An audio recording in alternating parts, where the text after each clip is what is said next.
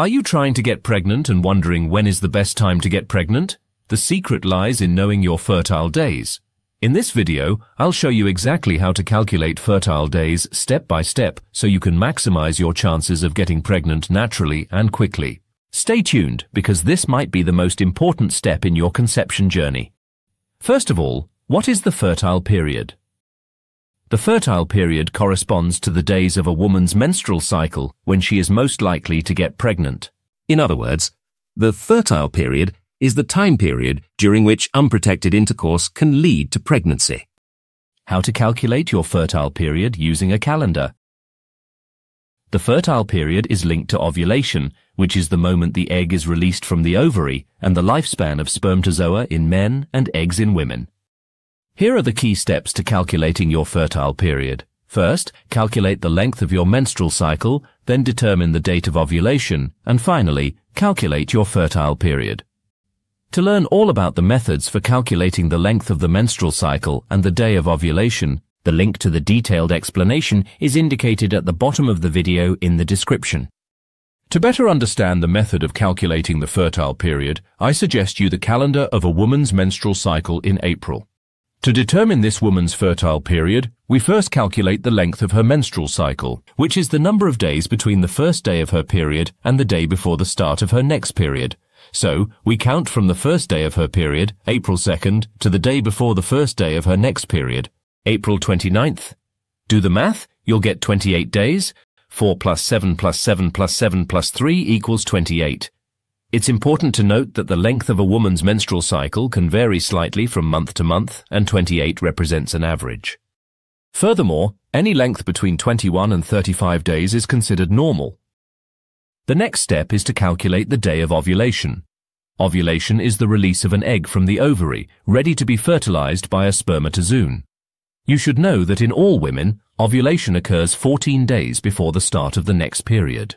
So to determine the day of ovulation, subtract 14 days from the length of the menstrual cycle. The length of the menstrual cycle in April is 28 days. The day of ovulation is therefore equal to 28 minus 14.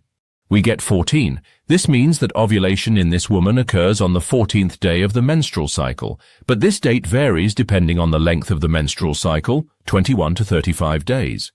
To determine the day of ovulation in April, count 14 days from the first day of the period, April 2nd. Therefore, the day of ovulation is April 15th.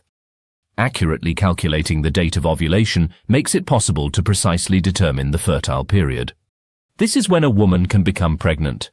After calculating the length of the menstrual cycle and the day of ovulation, the fertile window can easily be calculated. It is determined by the lifespan of spermatozoa in men, 3 to 5 days in the female genital tract, and that of the egg in women, 12 to 24 hours after ovulation.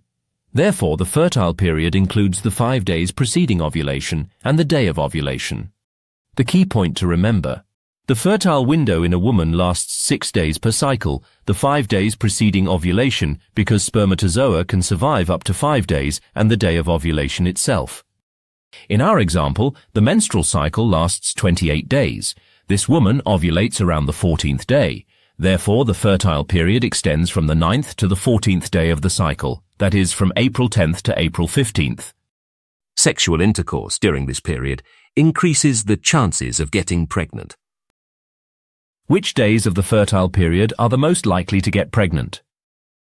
The peak fertility window of each cycle, that is, the time when a woman has the greatest chance of getting pregnant following unprotected intercourse, is concentrated in the two days preceding ovulation and the day of ovulation itself. Therefore, for a 28-day cycle, the three peak fertility days are the 12th, 13th, and 14th days of the cycle. In this example, the three days of maximum fertility are April 13th and 14th and the day of ovulation, April 15th.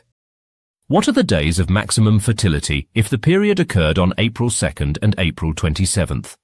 First, calculate the length of the menstrual cycle. Count from the first day of the period, April 2nd, to the day before the first day of the next period, April 26th. Do the math and you get 25 days. 4 plus 7 plus 7 plus 7 equals 25. The next step is to calculate the day of ovulation. Subtract 14 days from the length of the menstrual cycle. 25 minus 14 equals 11. Therefore, Ovulation occurs on the 11th day of the cycle. Count 11 days from the first day of the period, April 2nd. The day of ovulation is April 12th. Now we can identify the fertile window. It is determined by the lifespan of spermatozoa in men, 3 to 5 days in the female genital tract, and that of the egg in women, 12 to 24 hours after ovulation. The fertile period lasts 6 days per cycle, the 5 days preceding ovulation and the day of ovulation itself. So, for a 25-day cycle, ovulation occurs around day 11, and the fertile period extends from days 6 to 11. The peak fertility period of each cycle is concentrated in the two days preceding ovulation and the day of ovulation itself.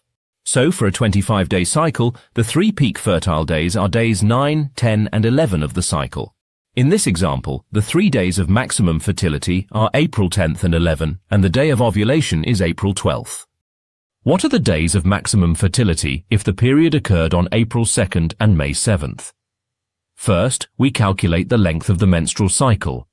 We count from the first day of the period, April 2nd, to the day before the first day of the next period, May 6th.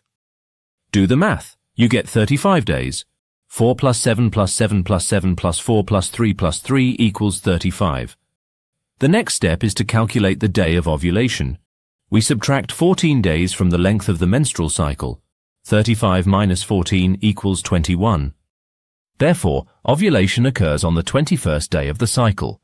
We count 21 days from the first day of the period, April 2nd. The day of ovulation is April 22nd. Now it's easy to recognize the fertile period.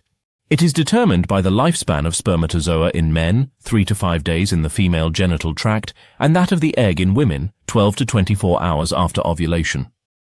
The fertile window lasts 6 days per cycle, the 5 days preceding ovulation and the day of ovulation itself.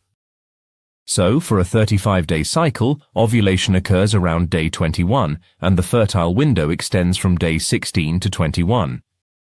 The peak fertility period of each cycle is concentrated in the two days preceding ovulation and the day of ovulation itself.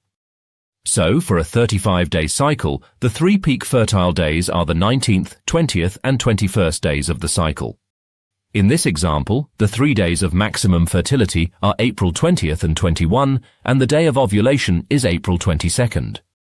In summary, pregnancy is only possible during the fertile period.